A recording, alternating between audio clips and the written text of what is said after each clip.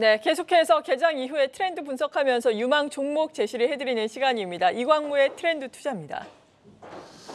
자, 안녕하세요. 돈이 되는 뉴스 트렌드 투자의 이강무 전문가입니다. 자, 어제와 오늘 같은 경우는 시장에 대한 수급이 큰 방향성이 없습니다. 이 때문에 증시에 대한 속도 조절이 나오고 있다라고 생각이 되고요. 이런 시장에서 수급에 대한 이탈이 크게 있지 않다라면은 그동안에 시장을 이끌어왔었던 주도주의 눈림목을 공략하시는 전략도 살아 있다라고 얘기 드리겠습니다. 자, 오늘 여러분들과 함께 시장에 대한 방향성과 또 시장에 대한 이슈를 찾아볼 수 있는 특징주 뉴스 보도록 하겠는데요. 자, 일단 지난 이 미증시에 대한 흐름들은 상당히 좋습니다. 바로 어제도 어, 미 3대 지수가 모두 다 강세 모습 보여줬는데요.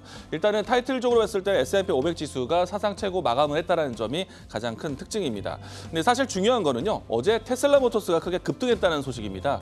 어, 전기차 관련된 종목들이 모두 다 강세 모습 보여주다 보니까 저가 매수세에 대한 2차 전지 종목들에 대한 힘이 조금 더, 더 부각이 되는 것 같고요. 어, 이로 인해서 최근에 움직임이 나왔었던 에코프로, 에코프로BM 비롯해서 포스코 그룹주들 모두 다 대형주들이 20일선을 올라서는 모습 보여주고 있습니다. 2차 전지 종목들에 대한 순환매를 관심 있게 보자라고 이야기 드리겠습니다. 자 그리고 이제 이 추가적으로 어, 정부에서 계속해서 시장에 대한 이 그러니까 value 프로그램에 대한 이야기를 건네면서 시장에 대한 수급이 대형주에 대한 움직임들이 좀 크게 진행되는데 어제와 오늘 같이 시장의 수급이 방향성을 보이지 않는다면 사실 이런 종목들에 대한 움직임들은 좀 답보입니다. 그런데 어, 다시 한번 결국에 이달 중에 기업 value 프로그램에 대한 구체화된 방안이 발표될 것으로 보고 있는데 어제 어, 어느 정도의 인센티브에 대한 검토에 대한 내용들이 좀 나왔습니다.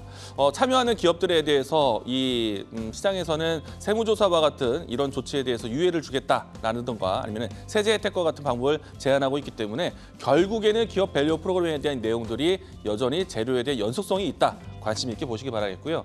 자, 세 번째, 오늘 시장에서 가장 중요한 이슈가 되지 않을까라고 생각을 합니다. 현대차에서요, 차량용 반도체에 대한 국산화에 대한 움직임, 생태계를 조성하는 것에 대한 준비를 하고 있습니다. 그동안에 현대차 같은 경우에는 이 차량용 반도체를 대부분 수입에 의존했습니다. 어, 지난 이, 이 코로나 사태라든지 그 주밖에 주요 국가에 대한 리스크로 인해서 반도체 공급망이 훼손된 적이 있었는데 어, 이 모습은 사실은 국내뿐만 아니라 외국에서도 마찬가지입니다. 특히나 미국에서도 반도체 공급망에 대한 쇼티지가 나타나다 보니까 어, 자체적으로 공급망 확보에 대한 생태계 조성을 준비를 하고 있습니다.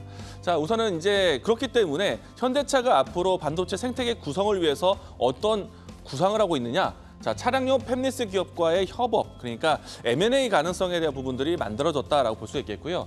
자, 우선 앞서서 이야기 드린 것처럼 수입에 의존하는 부분들이 국산화한다는 것 자체가 팹리스 기업들에 대한 모멘텀이 될 것 같고요. 어, 국내 foundry에 대한 생산 모색을 하고 있기 때문에 국내에서의 foundry를 한다면은 삼성전자와의 연결고리를 보셔야 됩니다. 그러면 차량용 반도체를 가지면서 팹리스 기업이고 그리고 국내 파운드리 삼성전자 연계 가능성이 높다라면은 대표적인 종목은 텔레칩스. 넥스트칩 이와 같은 종목들이 가장 큰 대표적이다라고 할 수 있겠고요. 자 프로세서, 센서, 전력 반도체와 같은 키워드를 따를 수 있는 팹리스 기업들을 보자 라고 이야기 드리겠습니다. M&A 가능성까지 본다면은 천억 이하에 대한 천억 어, 시가총액 천억 구간에 있는 종목들을 볼 수도 있겠는데 어, 픽셀 픽셀플러스 이와 같은 종목들도 관심 있게 볼 수 있겠습니다. 어, 다만 이제 오늘 제가 준비한 종목은 반도체 쪽 이 두산 테스나인데요.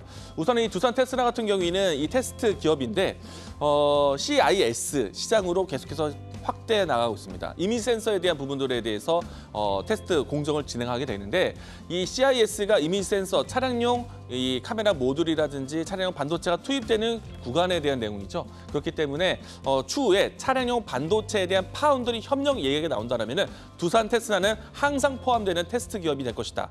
어, 앞서 이야기 드린 것처럼 파운드리 삼성전자 연결고리를 본다면 삼성전자가 자동차 기업과의 foundry를 조, 준비하고 있는데 거기에 가장 큰 수혜 기업이 두산 테스나다라고 이야기 드리겠습니다. 자, 차량용 반도체에 대한 포트폴리오 다변하고 있다는 점은 앞에 이야기 드린 것과 유사할 것 같고요. 특히나 삼성전자의 이 공식적인 파트너로서 앞으로 이 시장에 대한 어, 이 팹리스 이야기가 나왔을 때 테스트 기업으로 꼭 보자라고 이야기 드리겠습니다.